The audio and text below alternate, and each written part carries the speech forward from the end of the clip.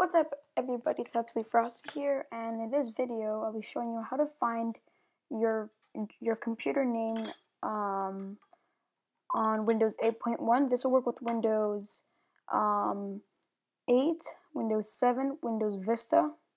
I'm not too sure about Windows XP, but um, anyway, so let's get uh, started here.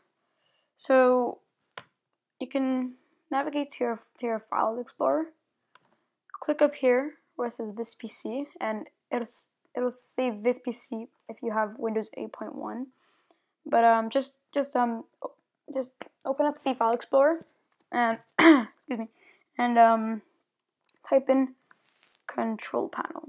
So it should be right there. It should be the second option.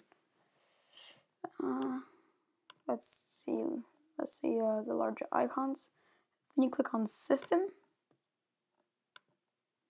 and it should be right there. It'll say computer name, then full computer name.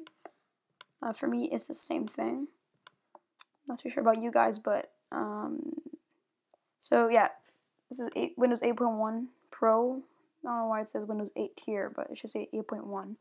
Um, but um, so yeah, so so you just um, so you look at the name, then you go, and then you're good to go. You have your computer name, so you can navigate to to that a computer over your network to, to see um, a shared hard drive and have a video of that um, on my channel so you, you, can go and see how to share your hard drive or folder over a network.